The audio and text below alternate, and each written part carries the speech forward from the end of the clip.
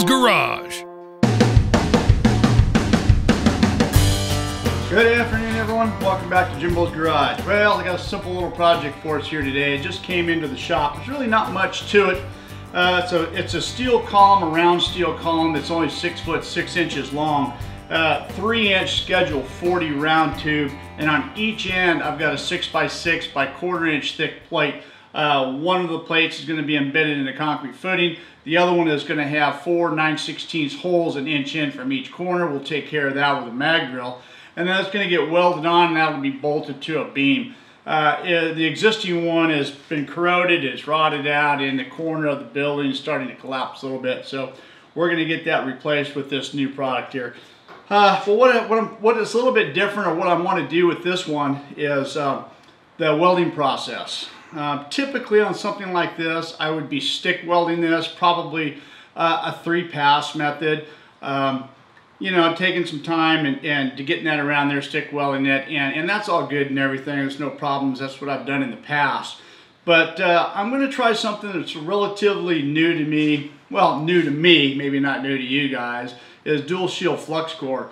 Now I've recently started using this just, just a couple of months ago and I haven't really had a chance to, to use it on anything and I thought this would be a, a great opportunity for that. Uh, try something a little bit different and we'll see if we can uh, I'll make that happen and be glad to show you guys uh, about how everything is going to happen doing that. So uh, let's get started on this nice little project. All right, so the first thing I'm going to do is uh, take my flap disc and I'm going to grind both sides of this pipe back uh, a couple of inches or so all the way around. The, the black, this black pipe has got some sort of coating on here. I'm, I'm sure it's to prevent corrosion or something. And so we're just going to grind this back all the way around so we have some uh, uh, good adhesion, good penetration with the with the new weld.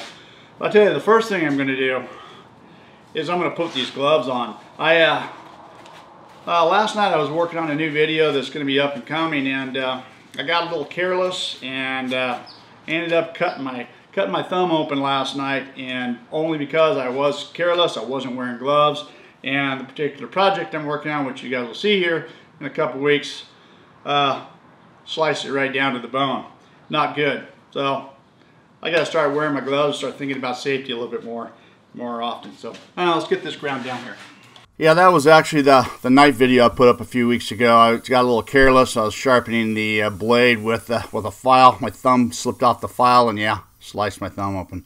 But anyways, we're just getting the uh, coating off the metal right here, getting it down to some nice clean metal to uh, be sure that uh, we get some uh, good weld adhesion here. All right, now that I got that all grinded and it's to the side, I got the six inch square plate, quarter thick. And this thing is exactly square. Um, it is exactly square. So what I've got is I've got, and I need them one inch in from each corner. So I just have a piece of one inch wood stock right here. I'm just gonna hold it on the edge here of, of all four sides and just gonna mark that. Fairly simple.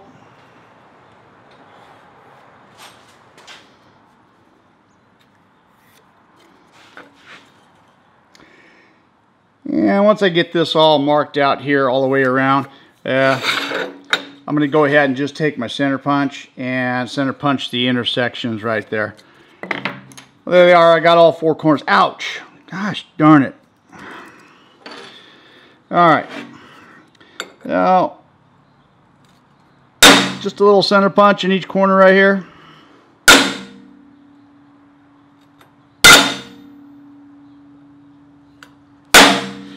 And we're ready for the mag drill.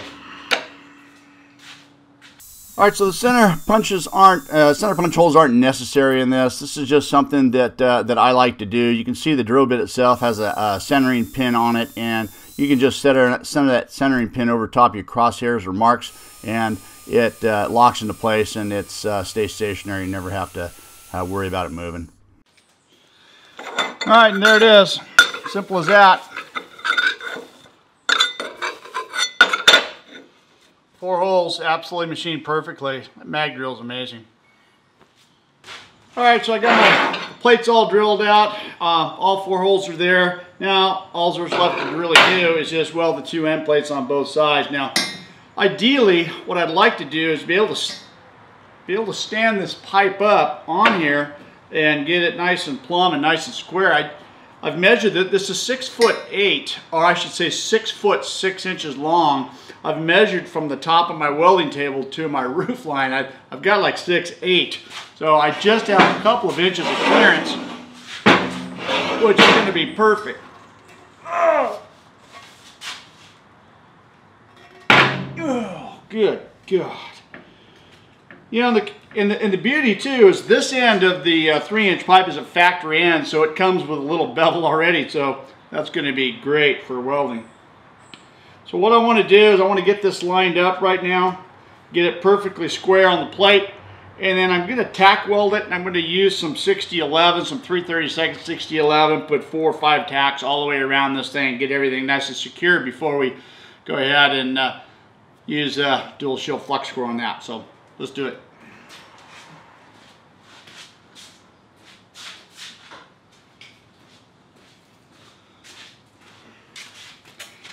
So basically what I need to get center to center on this all the way around is I need an inch and a quarter from each end or from each side of the pipe exactly and that's gonna that's gonna get me center. I'm fairly close.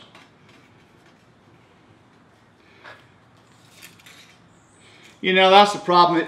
This is one thing I've got to fix is my tabletop right here. This quarter inch plate on the top, really, I got to get a big three quarter inch plate or something on top of this to get everything nice and flat. My, right now, my tabletop is so uneven, it makes it difficult to, to get everything to, to be nice and plumb and nice and square.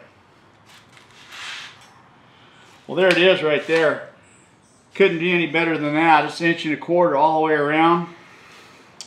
Um, I'm going to go ahead and fire up the, the, stick welder right now and just get some tacks on this all the way around so we can uh, get going.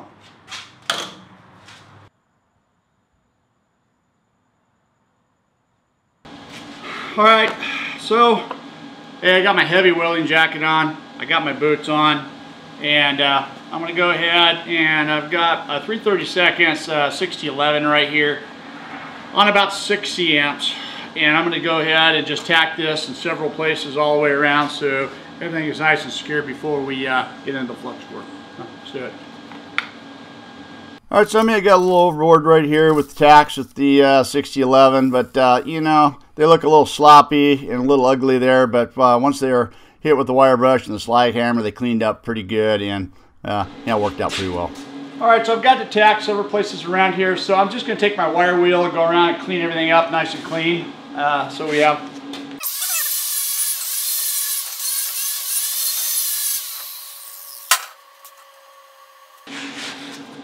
Okay, 26 volts, 525 inches a minute. We're going to see how she rolls. The beauty of this is this whole thing is going to be inside of a wall. So this would be the first time that I've actually used dual shield flux core in a long time. I hope it works out. Um, you know, the weld's got to be okay, but it's going to be hidden inside of a inside of a wall. So it's just mainly download. There's no lateral force on this on this uh, beam whatsoever. So what I'm going to do is I'm just going to do a two inch long bead. I'm worried about warpage real bad, so I'm going to just two inches over here, come over here, do two more inches and work my way around see if I can reduce the warpage. So here we go. Let's give it a try.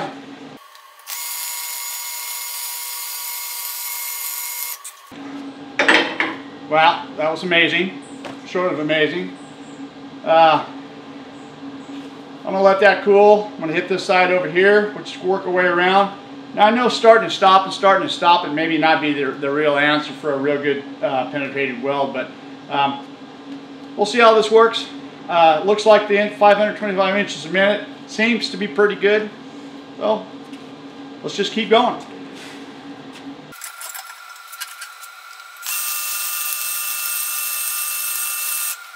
All right, so I want to keep the stick out at about three quarters of an inch away. Everything seems to be burning real smooth. Real, you know, not too much manipulation uh, with the torch, and everything seems to be flowing pretty good.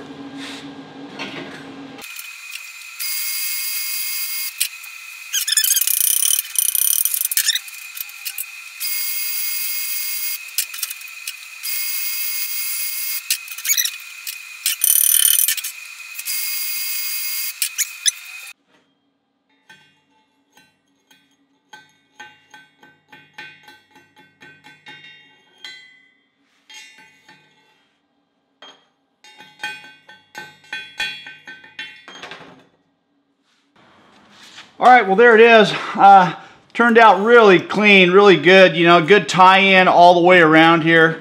Uh, you know, that's the beauty about dual shielded flux core. You know, if you get your settings just right and everything is dialed in, everything works perfectly, you know, and all I've done is I've just taken a slag hammer, uh, chipped the slag off, I hit it with a wire brush and just wiped everything down with a, with a, with a rag. And you can see it's virtually splatter free. There is zero splatter all the way around this thing. Nice and clean.